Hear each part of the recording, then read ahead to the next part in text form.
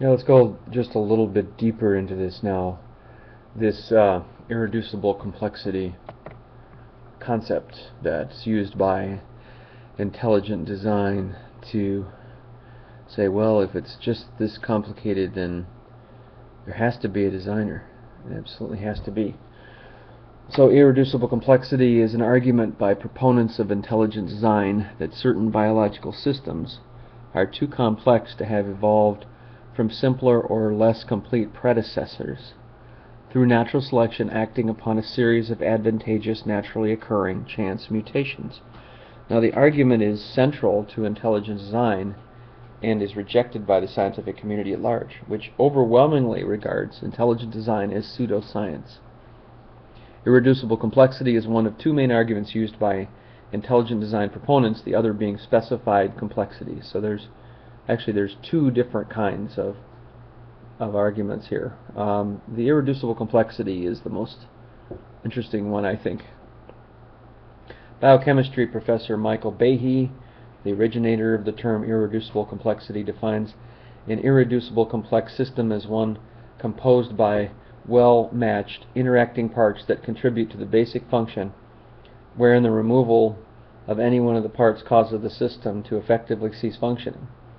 Evolutionary biologists have demonstrated how such systems could have evolved, and describe Behe's claim as an argument from incredulity. In the 2005 Kitzmiller versus Dover Area School District trial, Behe gave testimony on the subject of irreducible complexity. The court found that Professor Behe's claim for irreducible complexity has been refuted in peer-reviewed research papers and has been rejected by the scientific community at large. So th this Dover trial is kind of interesting. I think there's a there's a Nova TV series that I still need to watch on the Dover. If you get a chance to look it up, it's uh, YouTube and look up Dover Trial 2005, and it's like a two-hour Nova special on on the kinds of minds that get together and try to prove. And, and when you, you see the two different types of people, you can pretty much see it um, that the people that want to believe this are trying to force their opinion on other people. It's it's not it, it's really not uh, it's not a matter of truth it's a matter of power enforcing and when it really comes down to it it's forcing my opinion on yours um, and the scientists are saying hey you know let's just find the answer there are mostly of the religious sort trying to pound their opinion on other people that's the unfortunate truth when you look at it so that's how religion is dangerous, is that certain people will interpret and go way overboard. Because it's not rational.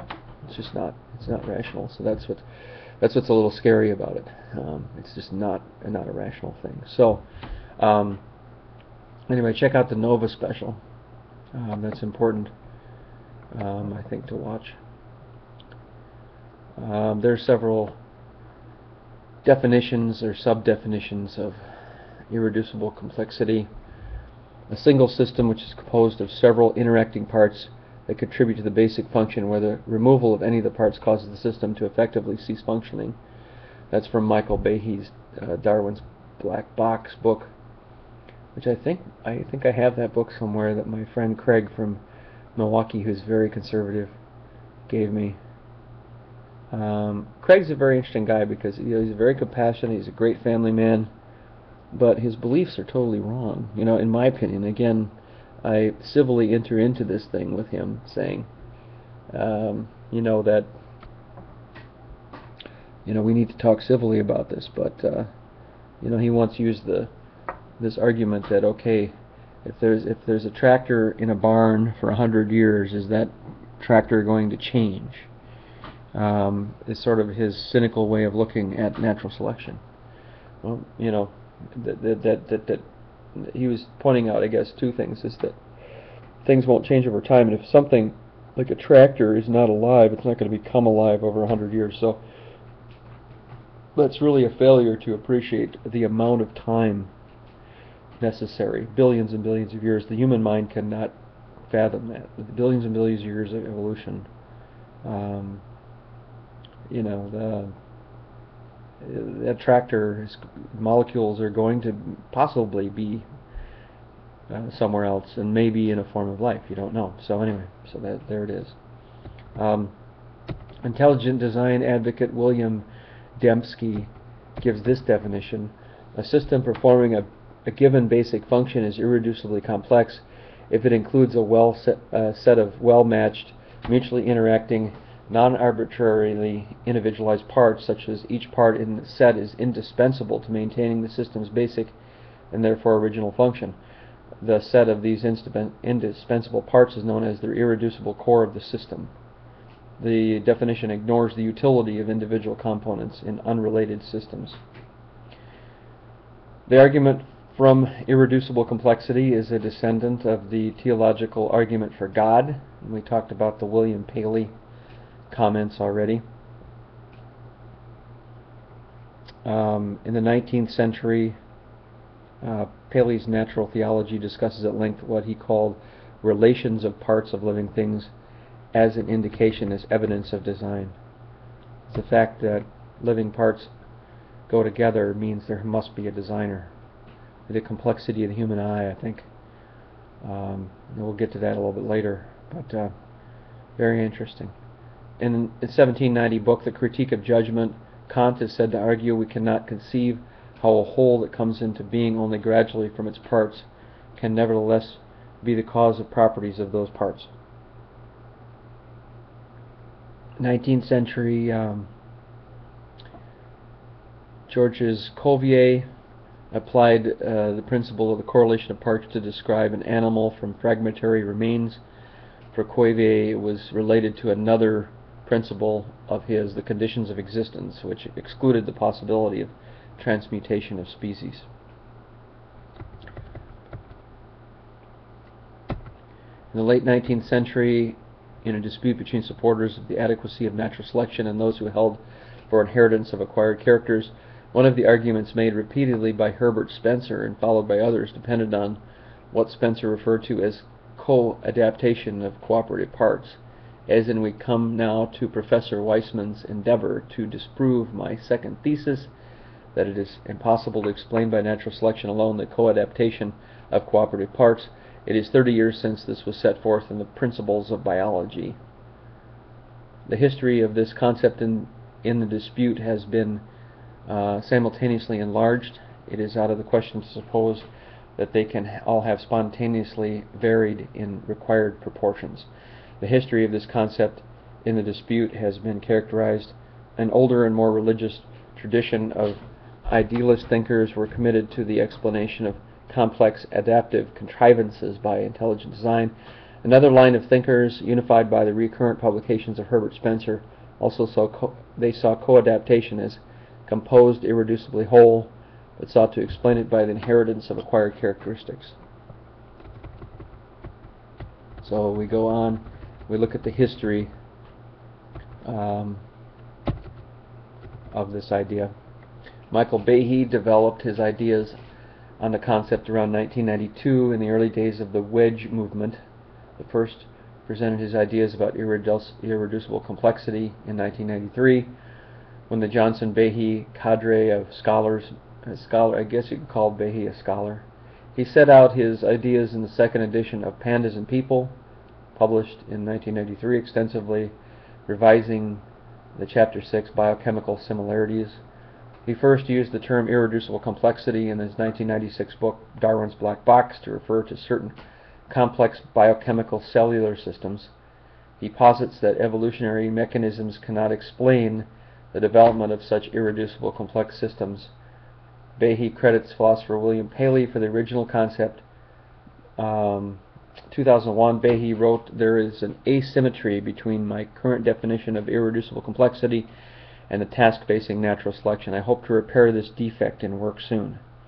Behe specifically explained that the current definition puts the focus on removing a part from an already functioning system. But the difficult task facing Darwinian evolution, however, would not be to remove parts from sophisticated pre-existing systems. It would bring together components to make a new system in the first place. Behe testified under oath that he did not judge serious enough Uh, and Behe additionally testified that the presence of irreducible complexity in organisms would not rule out the involvement of evolutionary mechanisms in the development of organic, organic life.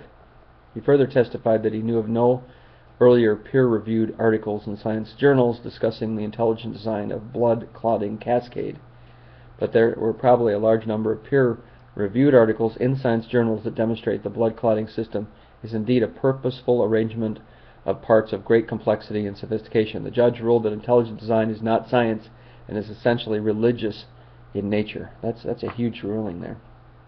That intelligent design is not science, it's essentially religious in nature. According to the theory of evolution, genetic variations occur without specific design or intent. The environment selects the variants that have the highest fitness, which are then passed on to the next generation of organisms. Change occurs by the gradual operation of natural forces over time, perhaps slowly, perhaps more quickly. The process is able to adapt to complex structures from the simple beginnings or convert complex structures from one function to another. Most intelligent design advocates accept that evolution occurs through mutation and natural selection at the micro level, such as changing the relative frequency of various beak lengths in finches, but, can, but assert that it cannot account for irreducible complexity because none of the parts of the irreducible system would be functional or advantageous until the entire system is in place. So it's this.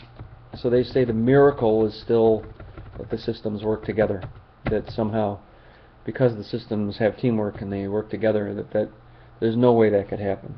I guess that's what they're saying. I'm not sure. Behe's, uh, Michael Behe's original examples of irreducible complex mechanisms included the bacterial flagellum of E. coli, the blood clotting cascade, and the immune system. Three things, he says, these are too complex to be understood, so let's just stop thinking about it. Stop right now. It's a creator, and it's a Christian creator, by the way. Uh, Behe argues that organs and biological features, which are irreducibly complex, cannot be wholly explained by current models of evolution.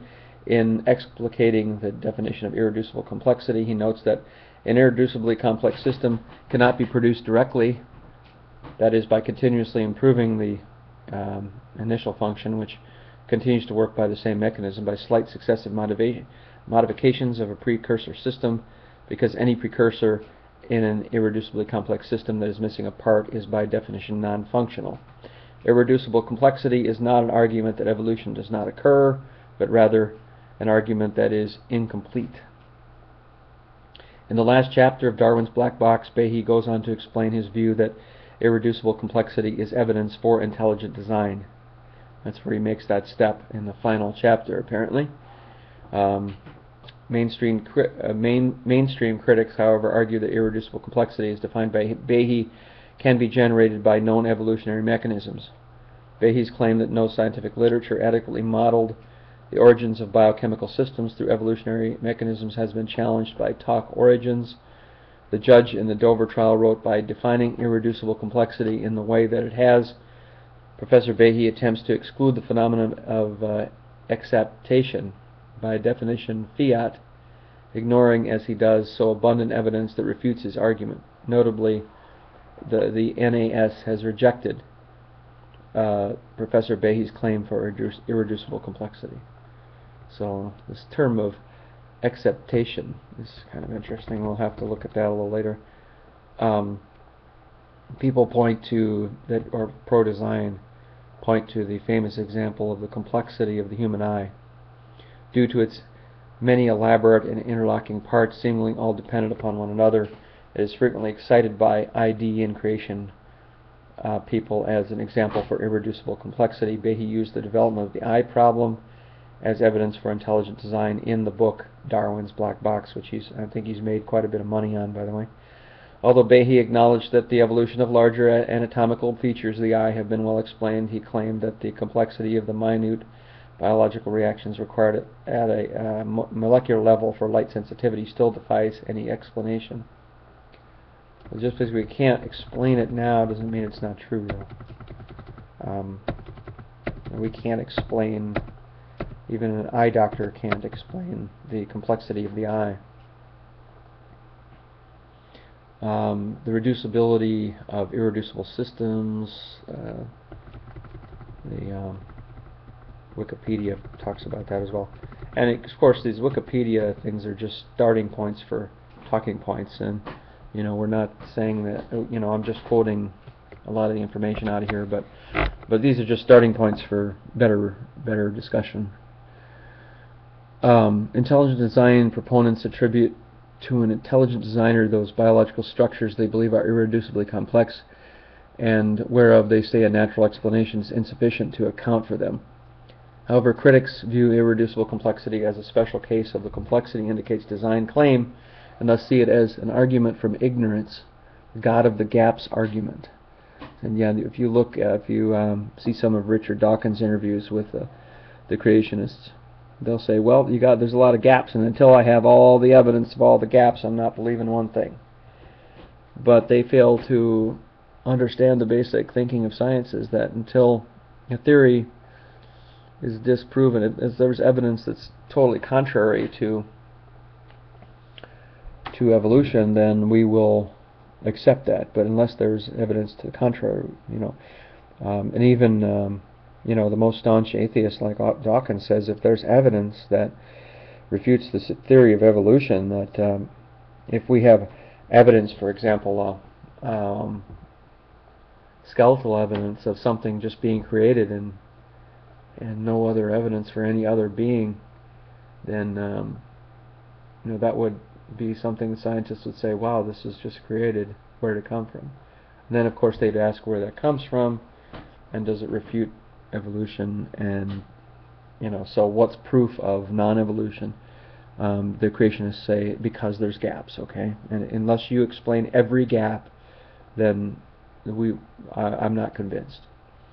Uh, Eugenie Scott, along with Glenn Branch and other critics, have argued that many points raised by ID proponents are arguments from ignorance Behe has been accused of using an argument by lack of imagination. And Behe himself acknowledges that a failure of current science to explain how an irreducibly complex organism did or did not evolve does not automatically prove the impossibility of such an evolution. Irreducible, irreducible complexity is at its core an argument against evolution. Um, if truly irreducible systems are found, the argument goes that intelligent design must be the correct explanation for their existence. However, this conclusion is based on the assumption that the current evolutionary theory and ID are the only two valid models to explain life. Laurence Moran writes that by concentrating the attention of the opponent on the stated examples, which are carefully selected to be hard to explain, Behe constructs a straw man. So um, you know, look into the Dover trial. I believe there's a um, a Nova special on the Dover trial.